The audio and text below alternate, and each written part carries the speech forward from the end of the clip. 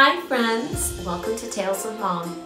Tonight's story is The Night Before Christmas, written by Clement Moore. In tonight's story, I want you to see if you can find the mouse in every scene.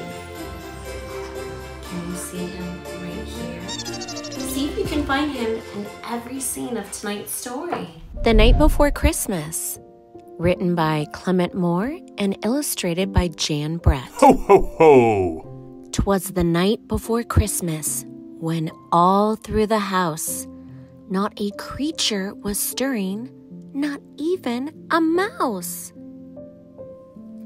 The stockings were hung by the chimney with care in hopes that St. Nicholas soon would be there. Ho, ho, ho! The children were nestled all snug in their beds while visions of sugar plums danced in their heads.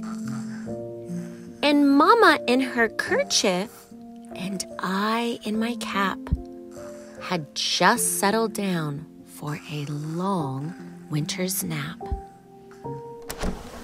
When out on the lawn there rose such a clatter, I sprang from my bed to see what was the matter.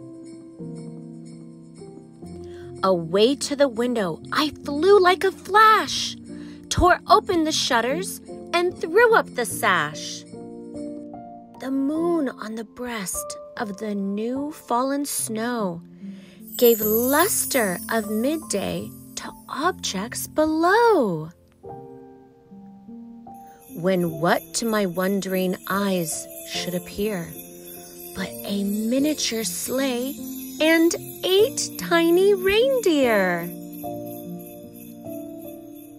With a little old driver, so lively and quick, I knew in a moment it must be Saint Nick. More rapid than eagles, his coursers they came, and he whistled and he shouted and he called them by name. Now Dasher, now Dancer, now Prancer and Vixen.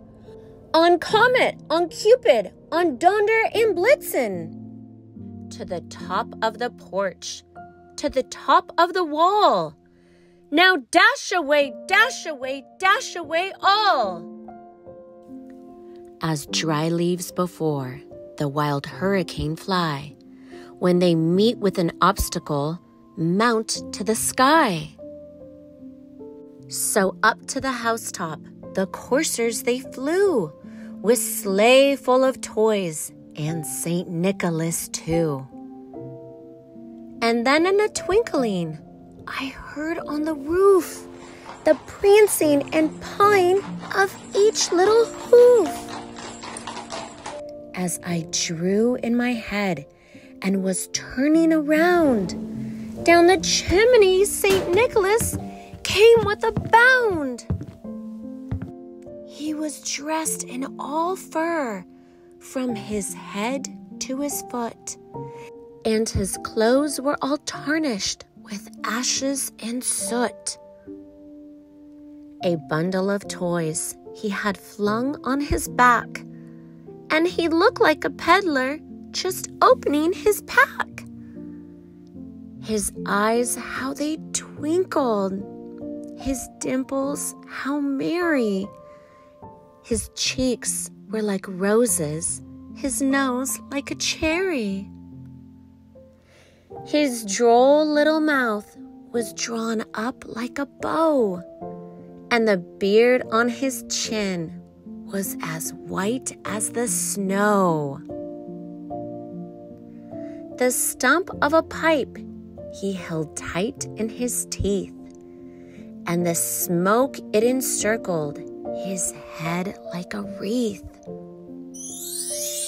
He had a broad face and a little round belly that shook when he laughed like a bowl full of jelly.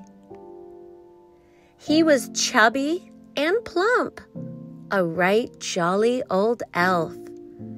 And I laughed when I saw him in spite of myself. A wink of his eye, and a twist of his head soon gave me to know I had nothing to dread. He spoke not a word, but went straight to his work and filled all the stockings, then turned with a jerk. And laying his finger aside of his nose and giving a nod, up the chimney he rose.